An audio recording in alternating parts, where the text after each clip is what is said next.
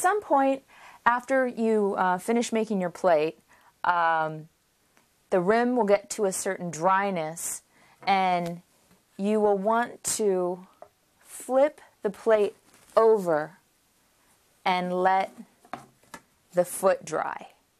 So that's where we're at right now.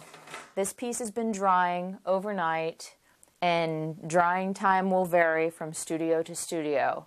So if you're only coming to class once a week, you have to be careful about how you wrap your pieces up so that when you're in class the next time, your, your pieces will be close to ready for trimming. And I actually like to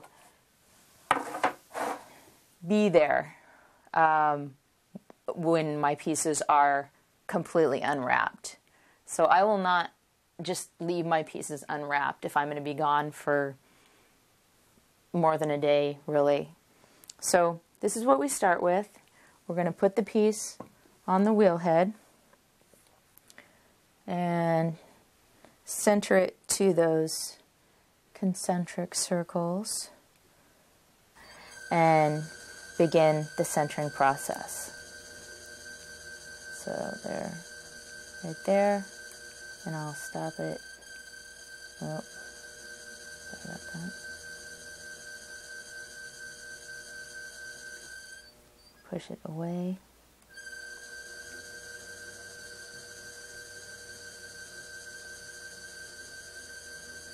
just keep in mind you're not going from the rim, you're you're judging from the foot. And those can sometimes be a little different.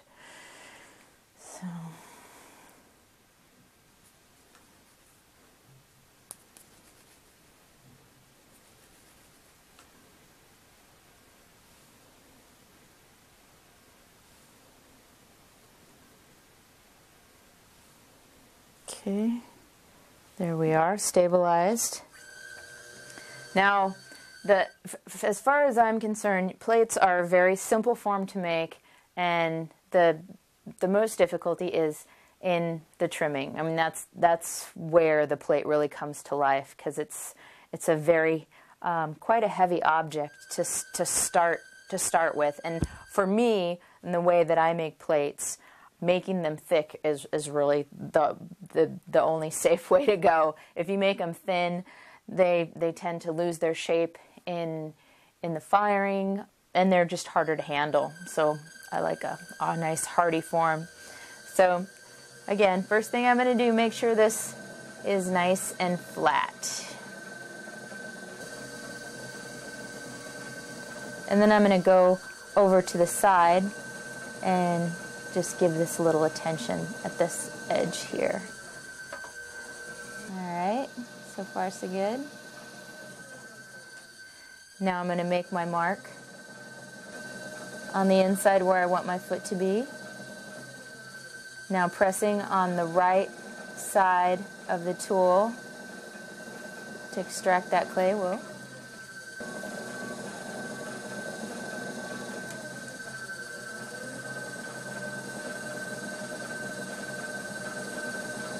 And the, the plate is flat, so that's what I'm going for. Nice flat surface.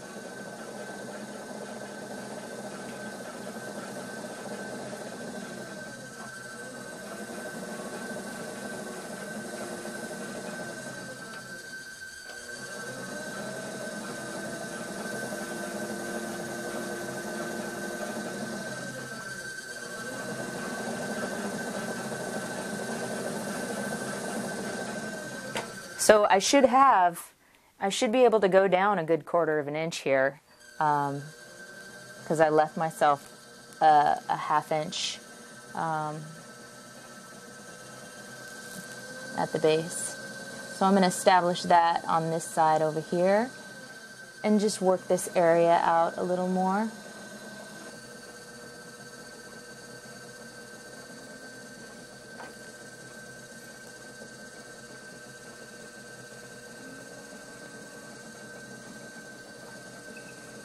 I might not be going full speed, but I'm going faster. Faster than slower, for sure.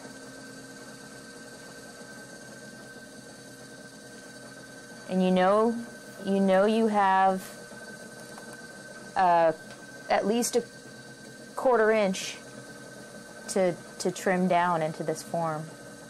So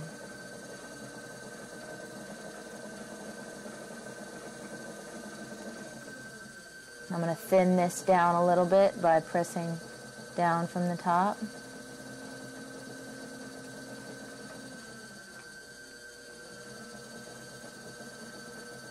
Coming in at an angle, just shaping up the foot a little more.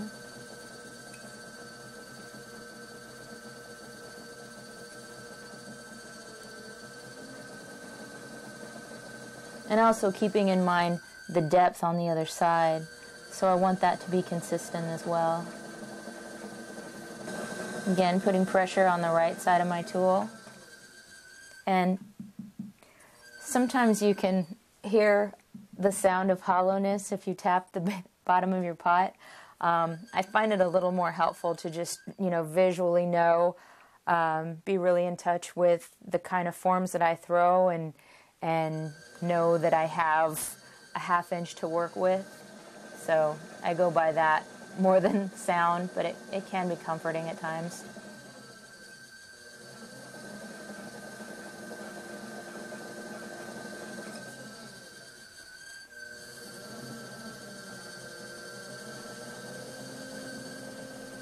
Okay, and again, uh, beveling that edge slightly.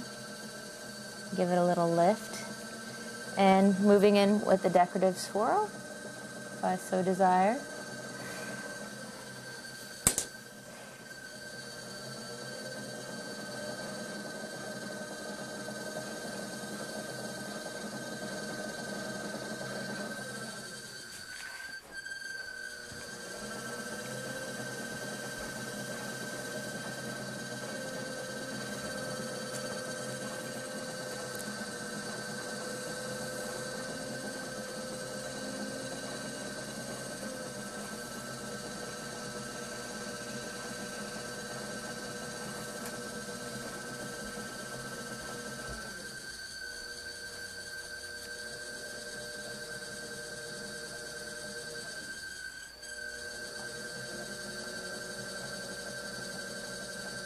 Okay.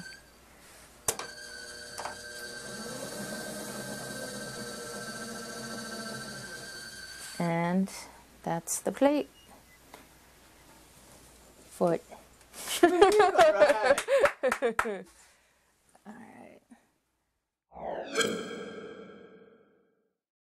Okay, and here we have the uh, cross section of the plate. Consistent wall thickness with the addition of the foot ring, a little bit thicker form, but it's a larger form. You're going to be stacking this form, so just something to think about. Um, you can go thinner, uh, but then other problems may arise in the firing of a large flat form. So just things to keep in mind.